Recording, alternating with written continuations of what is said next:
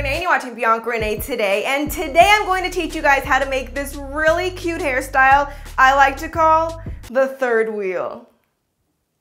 Just kidding, please don't leave the house looking like this. My hair is prepped in this way because I'm going to show you guys a new wig. Now this video is actually going to be about my very first curly hair wig. Now let me just say, ever since I posted that one wig review, I've been hit up by so many wig companies. Like, I didn't even know there were that many wig companies out there and there's no way I'm gonna be able to work with all of them. So I gotta be real selective and just pick the companies that I really think are worth your money and actually have good quality hair. Now the wig I'm about to show you is from China Hair Mall and the reason that I'm going to show you a wig from them is because they had my favorite curly hair selection. A lot of websites will show you this picture of like this amazing curly hair or like the celebrity curly hair and then you keep scrolling and you see the picture and the wig looks nothing like the actual model's hair. I mean, it is possible for that hair to be styled into a way to eventually look like that, but I really wanted to just pick a wig where I could take it out the box and the curls are already pretty and good to go. And that is why I chose this particular wig from China Hair Mall. So let me show you.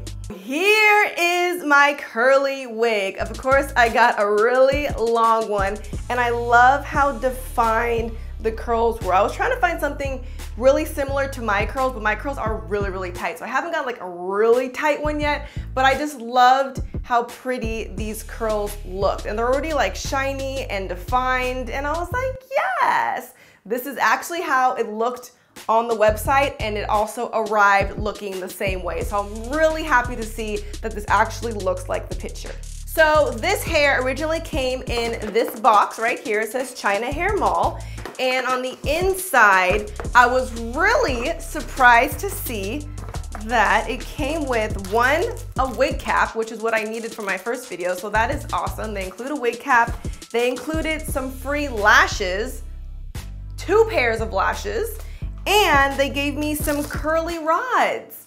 I was like, what? I actually asked them, like, do you get this to everybody or did you just send this to me? But they said this will come in all of their wig packages. So that is really cool, especially for a curly wig. If you need some more definition, you could just curl them up and you'll be good to go. So besides the rods, the wig cap, and the lashes, you also get this little booklet. And inside the book, it says how to apply a wig, how to apply extensions, and how to wash your hair. So these are all just really great tips and I was very pleased with the whole packaging setup they have going on. Now this wig in particular, it says lace front wig. It is SKU number LFW035. I'll put this all in the description box.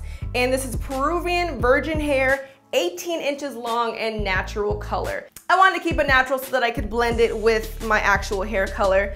And I'm excited to put it on. So here's a close-up of the lace front. On the inside, it has clips right here on the side, and it has one kind of like in the middle here. It doesn't have any on the back, which I probably might want, but that might be my fault because I think it asked you how many clips you want. I just didn't do it. But this one also has an adjustable strap in here. So if you're not sure about your head size and you want things to be a little bit tighter, you can adjust it with this little strap right here. So I'm going to, one, cut off the tag because that's tacky, and I'm gonna cut off this lace and be right back. So now I cut off all the lace, so now it looks like this. Cut off on the top and the bottom.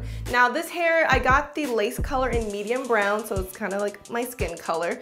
And the hair density is 150%. I do really like the density of this hair because obviously you guys know I like my volume, I like really big curly hair. So it is nice and thick. So I'm just going to pin these braids up in the back of my head Oh, let me explain why I have this third little ponytail going on. So I don't know how I want to wear this wig. I don't know if I want a middle part or side part. So I decided to just do both. So here's my middle part and here's my side part. So once I put it on, I have options. If you actually know how to do cornrows, then that would be even better. I have not yet mastered cornrows. I know, don't take away my black card. I'm gonna learn one day, but for now, I'm gonna have to fake the funk. And this is my little twisted blob. All right, now I'm going to put it on. I'm gonna flip it upside down and put my head in.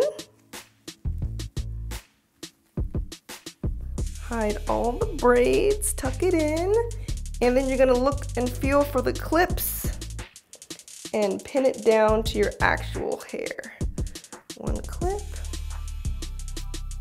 two clip, and I don't know where the third one is, so, oh well.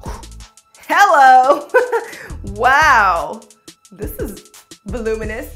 Now see this, this awkward line, that's what we don't want. So let's, let's bring it back a little bit so it doesn't look as weird. Bring out some baby hairs maybe. Okay, that's better. I have a large forehead. That's nice. Um, cool.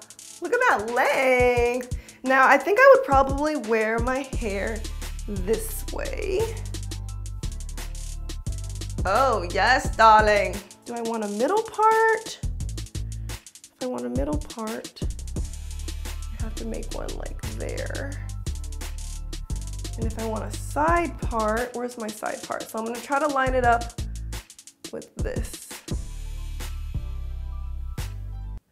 That's a really big poof, but it's kind of fabulous at the same time.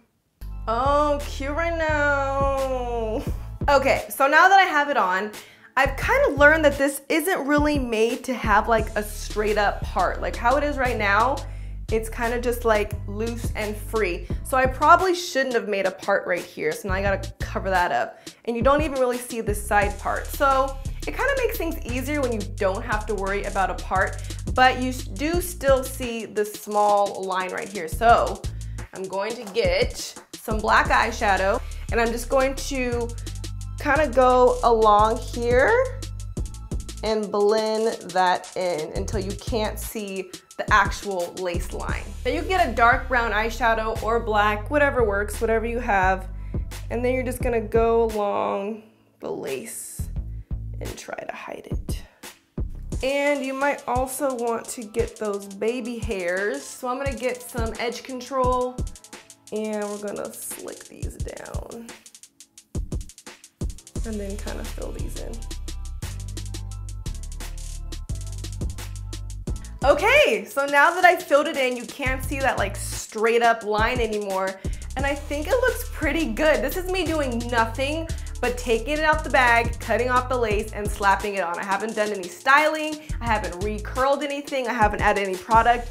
This is just out the bag, which I think is great. Now, the only thing that bugged me when I received this curly wig was it has a slight smell to it. It's not like a bad smell, but it smells like burnt hair. Like when you go to a hair salon and it just smells like some girl's getting her hair pressed, it kind of smells like that. And for those of you naughty girls that straighten your hair all the time, you might not even notice it. You'll be like, what smell?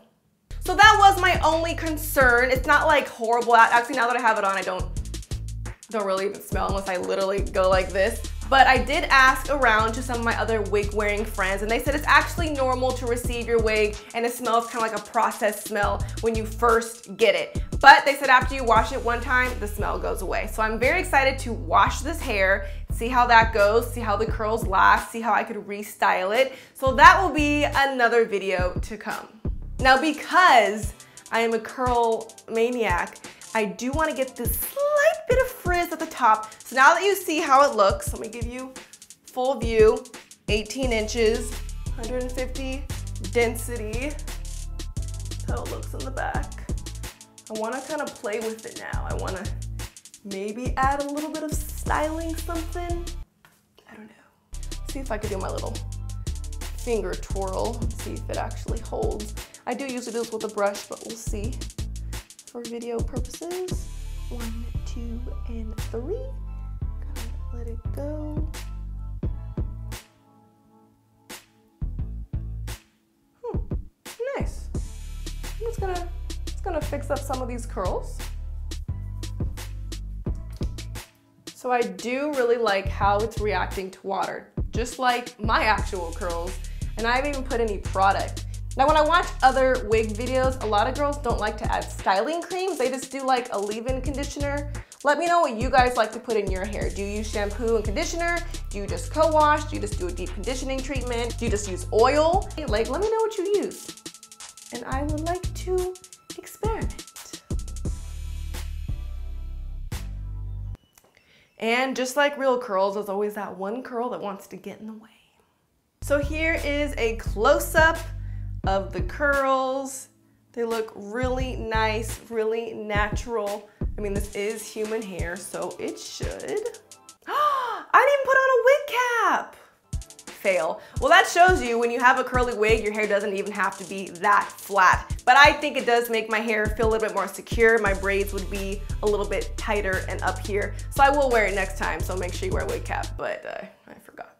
Now overall, I'm very happy with my experience with this curly wig. I'm glad it actually showed up looking like the pictures. I love the curl results and I love how thick it is. The 150 density is great for me. I do believe my cap size is size medium, but I will put all the information about this wig exactly in the description box. And if you wanna buy your own, I do have a promo code for you guys. You can get 10% off using Bianca10. If you like this video and or want some more wig reviews and tutorials, please give this video a thumbs up and subscribe. I post new videos every Sunday, so I hope to see you guys next week. Thanks for watching Bianca Renee today. Bye. Ta-ta now.